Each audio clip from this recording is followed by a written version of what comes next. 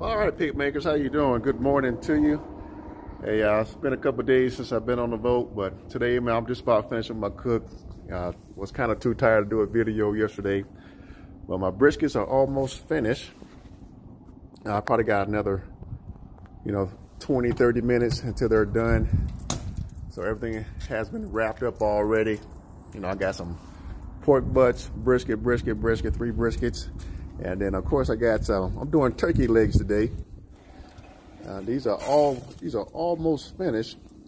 And I'm getting ready to wrap these uh, turkey legs up and uh, get them nice and tender. Man, that looks good. I got to spray them down just a little bit. I'll probably throw some butter on there. Ribs are almost done. Man, it looks good. Let's pull this out too. Matter of fact, let me go ahead and spray this stuff down. So these turkey legs are sitting probably at one, I think 135. And uh, I'm gonna go ahead and wrap them up and take them to, take them to 165. Okay. You know, you know my ribs.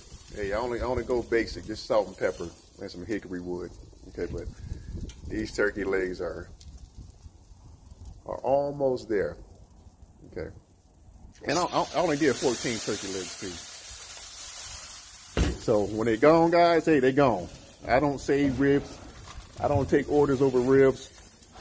I mean, over the phone, and you got to come get them. You know, I don't like to put ribs to the side for anybody. I mean, I rib, ribs, chicken, uh, especially these turkey legs. You know, all right, get that last little bit. All right, that looks that looks fabulous. Hey, Derek, how you doing, man? And these turkey legs, let's see, I'm gonna put my hand right next to them. Look how big they are. So these are probably about eight ounces, but this one in the back, that's a big one, hand size. So you, you can tell the difference how big they are, okay? All right, I think we're good. I'm gonna go ahead and put these uh, turkey legs in a, in a pan and throw uh, throw some aluminum foil over it like I got my, my briskets. Matter of fact, like I got my briskets, and then I get them tender because I want them falling off the bone. That's the only way to eat, eat, a good turkey leg. I don't like to hold mine in aluminum foil. Put it in a pan. I mean, put it in a uh, in a clamshell and shred it up, and then just let the meat fall off the bone. That's my brisket. Oh, let's see. I'm trying to. This is almost finished too. Oh man, look at that juice. That looks good.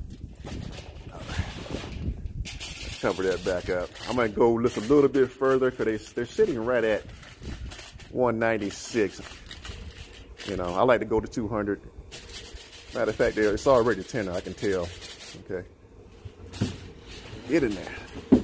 Uh, that's brisket, that's pork butt, and uh, so three briskets and, and uh, one and two pork butts. All right, guys. And I am running a dry pit last look at these beauties. Make sure I don't drop this thing. Let's see. Yeah, go a little further. All right. And it's a little bit of sweet heat on these turkey legs. And then my ribs.